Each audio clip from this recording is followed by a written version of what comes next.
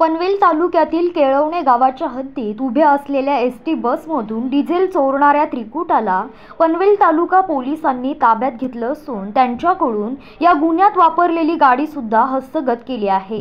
तालुक्यातील केळवणे गावाच्या हद्दीत आर्यन फर्निचर समोर दोन एस टी बस उभ्या ठेवल्या होत्या.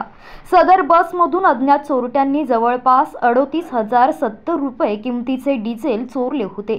याबाबत पनवेल तालुका पोलीस ठाण्यात तक्रार दाखल होताच वरिष्ठ पोलीस निरीक्षक अनिल पाटील यांच्या मार्गदर्शनाखाली सहाय्यक पोलीस निरीक्षक संजय गळवे पोलीस उपनिरीक्षक हर्षल राजपूत पोलीस हवलदार सुनील कुदळे महेश धुमाळ सतीश तांडेल रवी म्हात्रे भीमराव खताळ तुकाराम भोये आकाश भगत आदींच्या पथकाने गुप्त बातमीदार व तांत्रिक तपासाच्या आधारे आरोपी सिद्धार्थ साठे वय वर्ष चोवीस राहणारा कोपरखेरणे सोहेल खान वय वर्ष तेवीस राहणारा तुर्भे एरिस चाडी वय वर्ष एकवीस. राहणारा वाशी यांना ताब्यात घेतलं असता त्यांनी गुन्ह्याची कबुली दिली असून त्यांनी या गुन्ह्यात वापरलेली गाडी सुद्धा हस्तगत केली आहे.